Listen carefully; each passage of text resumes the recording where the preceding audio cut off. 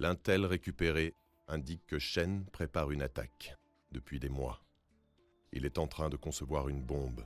Dans la cité container, nous avons repéré un local fortifié qui doit être un laboratoire d'armes biologiques.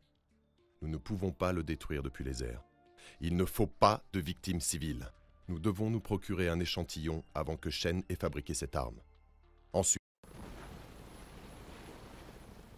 Wow, wow, c'est notre boulot Visez et tirez. Il est où le gros problème? Mais tirer au milieu des quartiers pauvres des autres Les autres sont les yeux et les oreilles de chêne. L'endroit sera désert quand on va arriver. Ma famille y vit Moi aussi, mais on a un boulot à faire. Et si on vous tire dessus, vous rendez l'appareil.